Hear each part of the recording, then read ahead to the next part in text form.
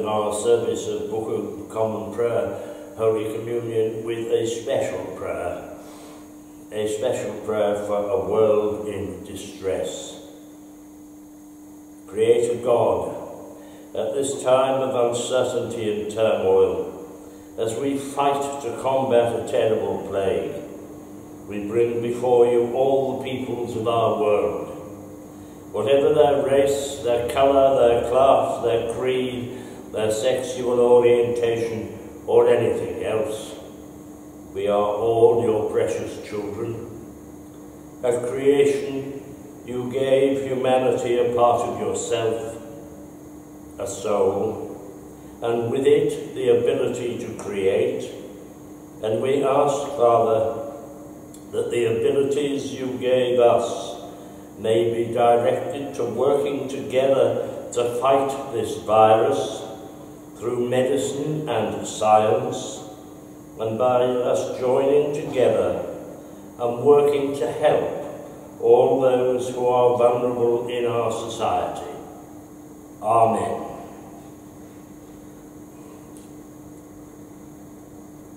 Our Father which art in heaven, hallowed be thy name. Thy kingdom come, thy will be done in earth as it is in heaven. Give us this day our daily bread, and forgive us our trespasses, as we forgive them that trespass against us. And lead us not into temptation, but deliver us from evil. Amen. Almighty God, unto whom all hearts be open, all desires known, and from whom no secrets are hid. Cleanse the thoughts of our hearts by the inspiration of thy Holy Spirit, that we may perfectly love thee and worthily magnify thy holy name. Amen. The summary of the law. Our Lord Jesus Christ said, Hear, O Israel, the Lord our God is one Lord, and thou shalt love the Lord thy God with all thy heart, with all thy soul, with all thy mind, and with all thy strength. This is the first commandment. And the second is like, namely this, Thou shalt love thy neighbour as thyself. There are no other commandments greater than these. On these two commandments hang all the law and the prophets. Lord, have mercy upon us, and write all these thy laws in our hearts, we beseech thee. The Collect for the Sovereign. Almighty God, whose kingdom is everlasting and power infinite, have mercy upon the whole church, and so rule the heart of thy chosen servant Elizabeth our Queen and Governor, that she, knowing whose minister that she is, may above all things seek thy honour and glory, and that we and all her subjects, duly considering whose authority she hath, may faithfully serve, honour, and humbly obey her, in thee and for thee, according to thy blessed word and ordinance, through Jesus Christ our Lord, who with thee and the Holy Ghost liveth and reigneth, ever one God, world without end. Amen. The Lord be with you. Let us pray. The Collect for the first Sunday after Trinity.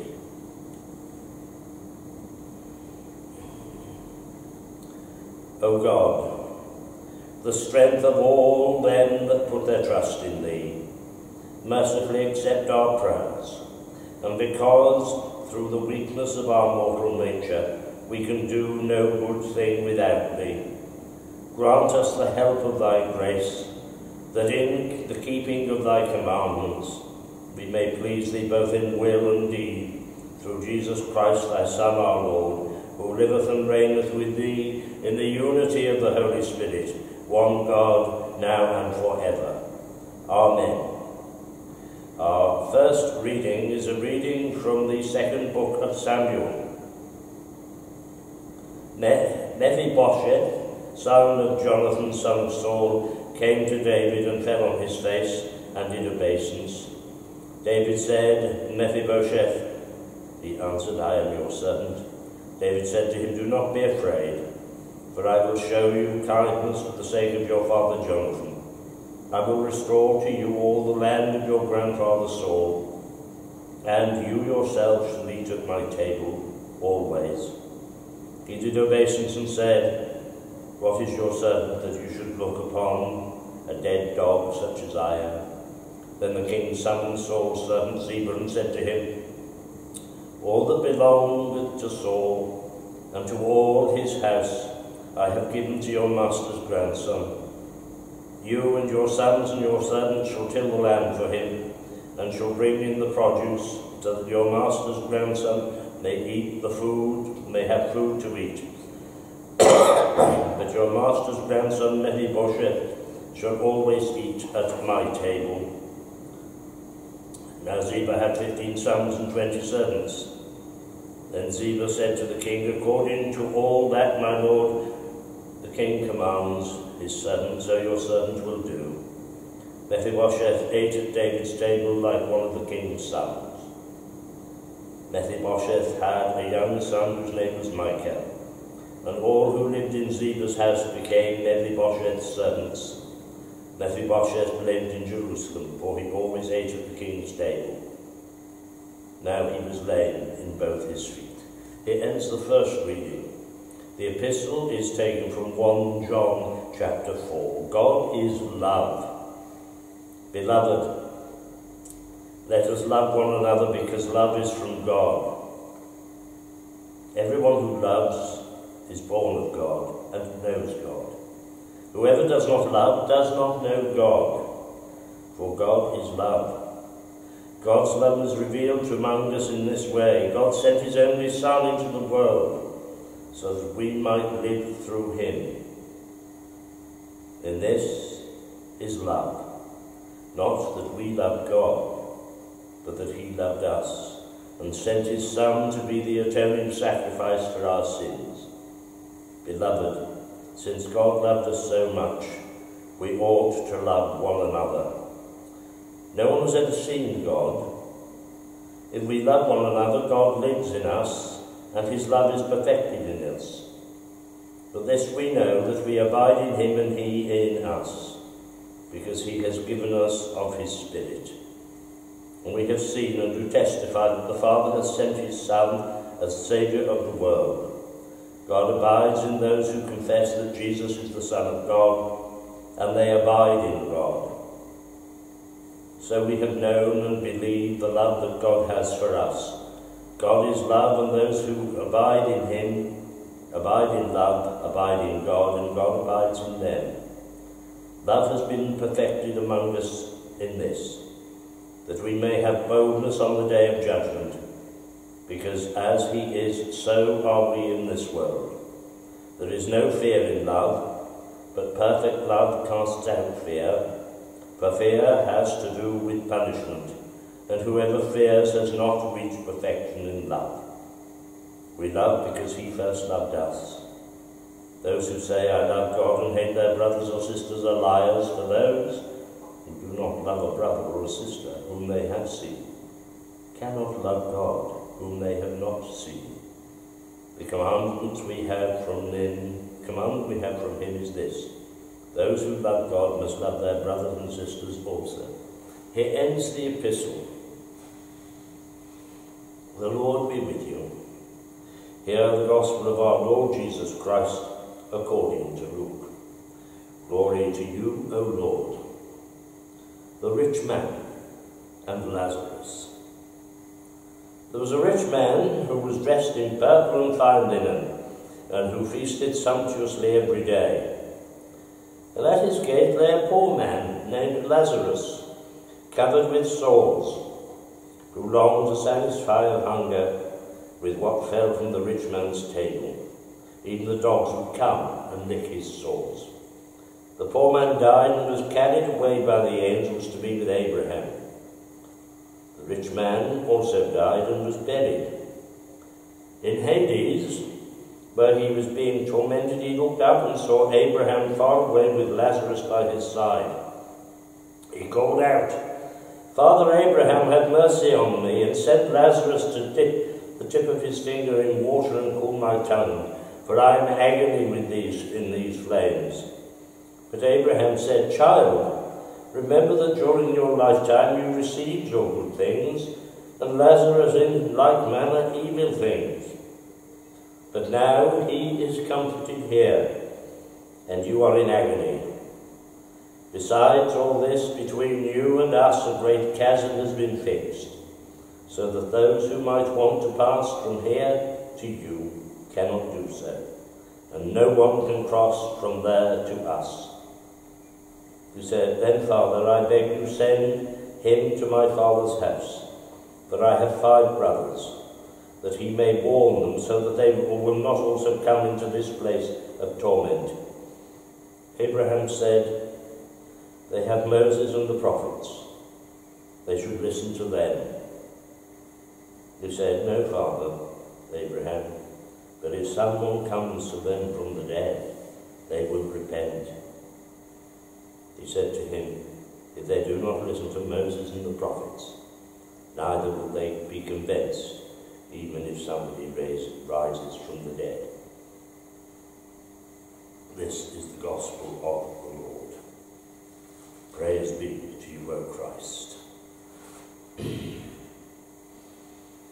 I believe in one God, the Father Almighty, maker of heaven and earth and of all things visible and invisible, and in one Lord Jesus Christ, the only begotten Son of God, begotten of his Father before all worlds, God of God, light of light, very God of very God, begotten, not made, being of one substance with the Father by whom all things were made, who for us men and for our salvation came down from heaven, and was incarnate by the Holy Ghost of the Virgin Mary, and was made man, and was crucified also for us under Pontius Pilate. He suffered and was buried, and the third day he rose again according to the Scriptures, and ascended into heaven, and sitteth on the right hand of the Father. And he shall come again with glory to judge both the quick and the dead, whose kingdom shall have no end. And I believe in the Holy Ghost, the Lord, the giver of life, who proceedeth from the Father and the Son, who with the Father and the Son together is worshipped and glorified, who spake by the prophets. And I believe one Catholic and Apostolic Church. I acknowledge one baptism for the remission of sins. And I look for the resurrection of the dead and the life of the world to come. Amen.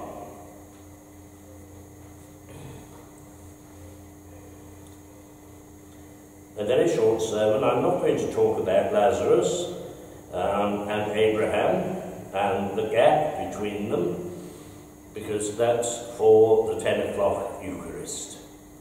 I'm going to look at our epistle from James very briefly. Beloved, let us love one another because love is from God. And that is very, very important.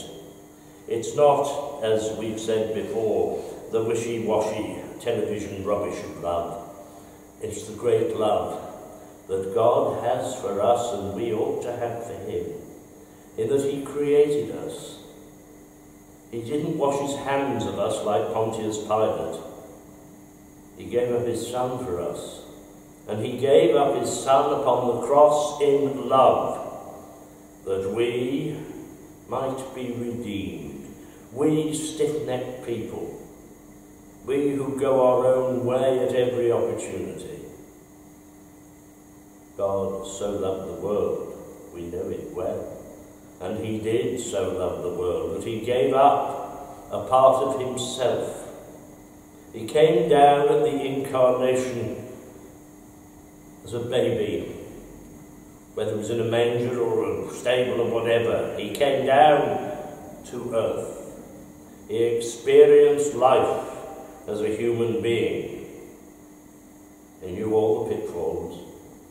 He ate, he drank, he washed his hands, he went to the loo. Jesus was a man, but he was also divine.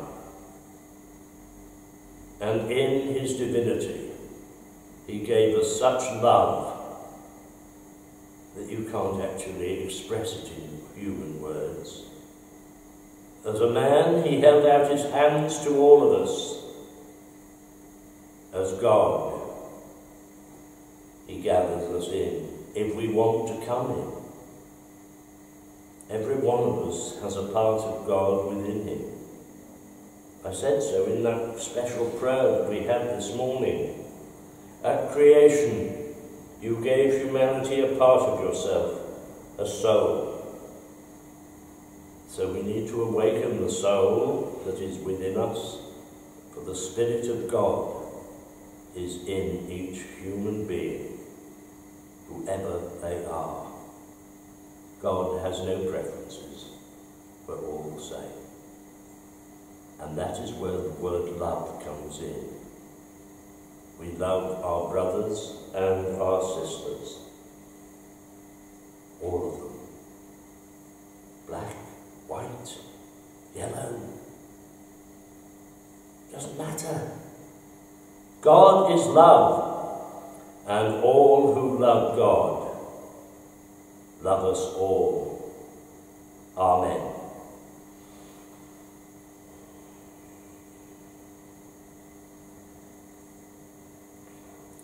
Let your light so shine before men, they may see your good works and glorify your Father which is in heaven.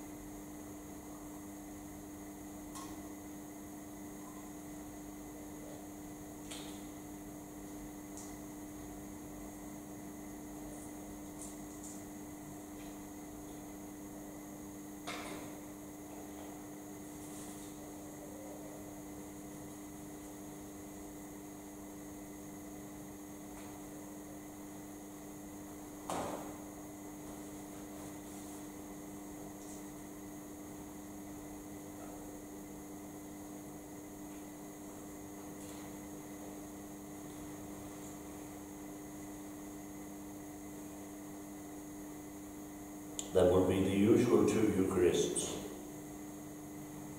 on Wednesday and Friday. And as from Monday, the church will be open for private prayer, and it will be this in this Lady Chapel only. And we would ask people to maintain social distancing and obey all the, the rules that we've had to set down. So that is from tomorrow. But next Sunday is St John's Sunday, because our patronal festival is but a short few days away from Sunday. The 24th is the birth of John the Baptist. So next Sunday we will celebrate St John's Sunday, 8 o'clock communion, and then the High Mass, the patronal Mass of John the Baptist at 10 o'clock. It'll be me only, I'm afraid, but I have asked for advice as to how we might make it a little bit um, more noteworthy. And I've asked our organist to give it his consideration. So that is for next Sunday. Let us pray for the whole state of Christ Church militant hereon. Almighty and ever-living God, who by thy holy apostle has taught us to make prayers and supplications, and to give thanks for all men. We humbly beseech thee most mercifully accept our alms and oblations, and to receive these our prayers, which we offer unto thy divine majesty, beseeching thee to inspire continually the universal church with the spirit of truth, unity, and concord, and grant that all they that do confess thy holy name may agree in the truth of thy holy word, and live in unity and godly love, we beseech thee also to save and defend all Christian kings, princes, and governors, and especially thy servant Elizabeth, our Queen, that under her we may be godly, quietly, and truthfully governed, and grant unto her whole council and to all that are put in authority under her, that they may truly and impartially minister justice to the punishment of wickedness and vice, and to the maintenance of thy true religion and virtue. Give grace, O Heavenly Father, to all bishops, priests, and deacons, that they may both by their life and doctrine set forth thy true and living word, and rightly and duly administer thy holy sacraments. Unto all thy people give thy heavenly grace, and especially to those who are watching this uh, service of Holy Communion, that with meek heart and due reverence they may hear and receive thy holy word, truly serving thee in holiness and righteousness all the days of their life. And we most humbly beseech thee of thy goodness, O Lord, to comfort and succour all them who in this transitory life are in trouble, sorrow, need, sickness, or any other adversity. And we also bless thy holy name for all thy servants departed this life in thy faith and fear, beseeching thee to give us grace, so to follow their good examples, that with them we may be partakers of thy heavenly kingdom. Grant this, O Father, for Jesus Christ's sake, our only mediator and advocate. In a moment of quiet, let us bring before Almighty God our own concerns, our worries, our thoughts for the world. Remember those we have loved and see no more. We think of those we know who are sick.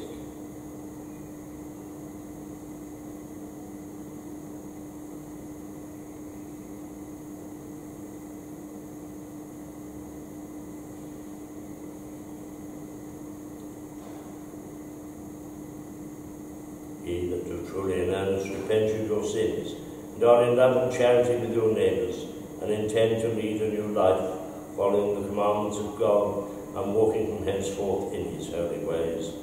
Draw near with faith, and take this holy sacrament to your comfort, and make your humble confession to Almighty God. Almighty God, Father of our Lord Jesus Christ, maker of all things, judge of all men, we acknowledge and bewail our manifold sins and wickedness, which we from time to time most grievously have committed, by thought, word, and deed against thy divine majesty, provoking most justly thy wrath and indignation against us. We do earnestly repent, and are heartily sorry for these our misdoings. The remembrance of them is grievous unto us, the burden of them is intolerable. Have mercy upon us, have mercy upon us, most merciful Father. For thy Son, our Lord Jesus Christ's sake, forgive us all that is past, and grant that we may ever hereafter serve and please thee in newness of life, to the honour and glory of thy name, through Jesus Christ our Lord. Amen.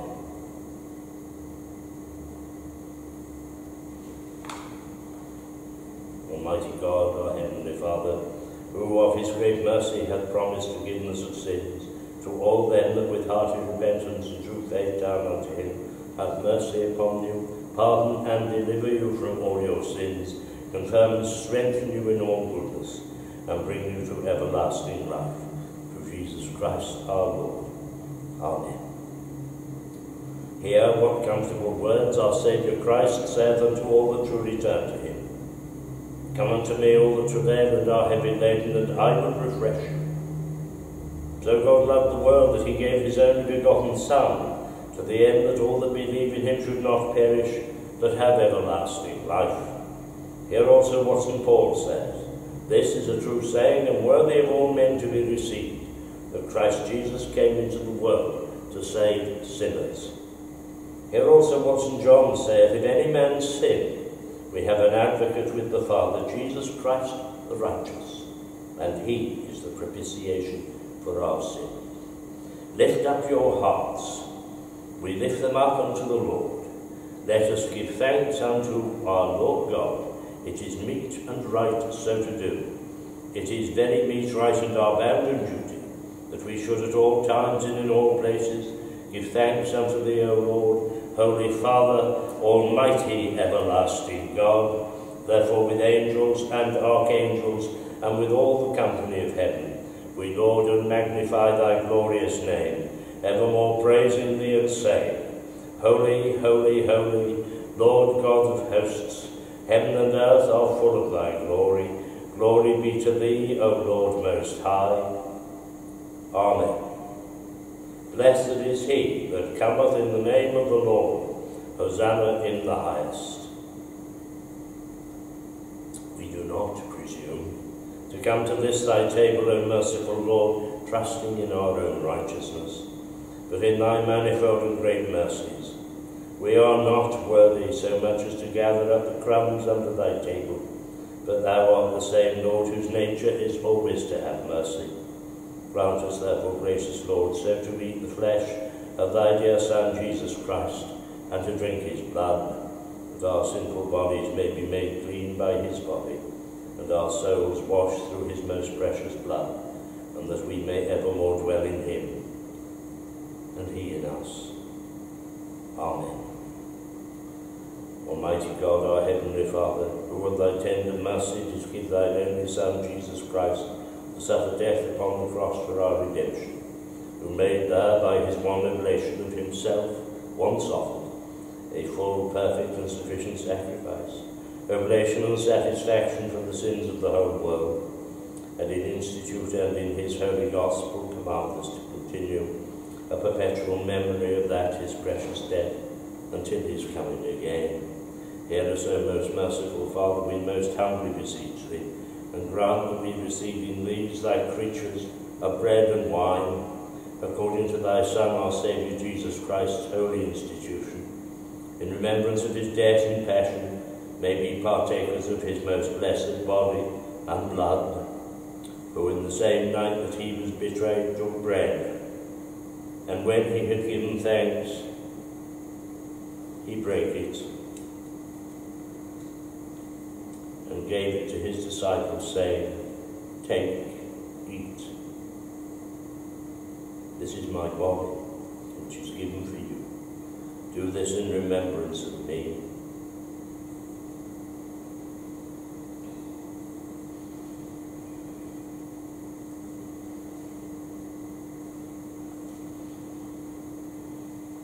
Likewise, after supper, he took the cup. And when he had given thanks, he gave it to them, saying, Drink ye all of this.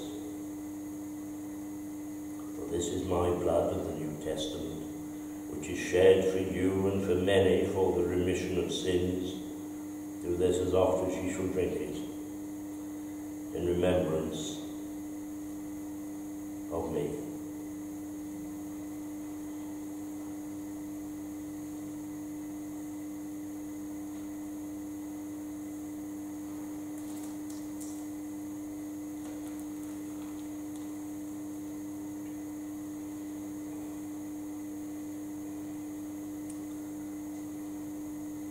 Body of our Lord Jesus Christ, which was given for thee, preserve thy body and soul unto everlasting life. Take and eat this in remembrance that Christ died for thee, and feed on him in thy heart by faith with thanksgiving.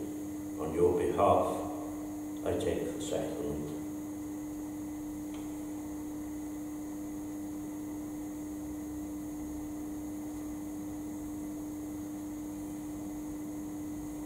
Blood of our Lord Jesus Christ, which was shed for thee, preserve thy body and soul into everlasting life. Drink this in remembrance that Christ's blood was shed for thee, and be thankful.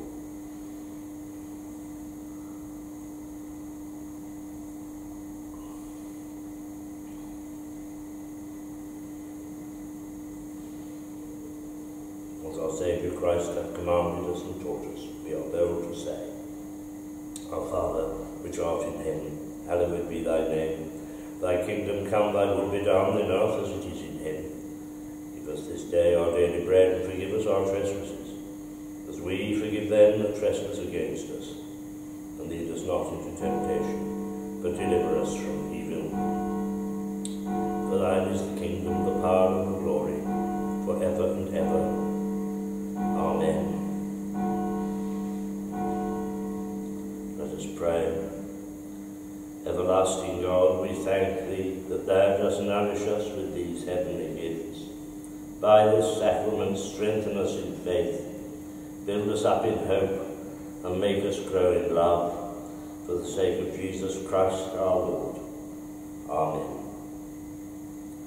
In thanksgiving we say, Almighty and ever-living God, we most heartily thank Thee, for that Thou dost vouchsafe to feed us, who have duly received these holy mysteries, with the spiritual food of the most precious body and blood of Thy Son, our Saviour Jesus Christ, and thus assure us whereby Thy favour and goodness towards us, and that we are very members incorporate in the mystical body of Thy Son, which is the blessed company of all faithful people, and are also ours through hope of Thy everlasting kingdom, by the merits of the most precious death and passion of Thy dear Son. And we most humbly beseech Thee, O Heavenly Father, so to assist us with Thy grace, that we may continue in that holy fellowship and do all such good works as Thou hast prepared for us to walk in, through Jesus Christ our Lord, who with Thee and the Holy Ghost art most, be all honour and glory, world without end. Amen. Glory be to God on high, and in earth peace, goodwill towards men. We praise Thee, we bless Thee, we worship Thee, we glorify Thee. We give thanks to Thee for Thy great glory. O Lord God, Heavenly King, God the Father Almighty, O Lord, the only begotten Son, Jesus Christ, O Lord God, Lamb of God, Son of the Father, that takest away the sins of the world, have mercy upon us. Thou that takest away the sins of the world, have mercy upon us. Thou that takest away the sins of the world, receive our prayer. Thou that sittest at the right hand of God the Father, have mercy upon us. For thou only art holy, thou only art the Lord, thou only, O Christ, with the Holy Ghost, art most high in the glory of God the Father. Amen.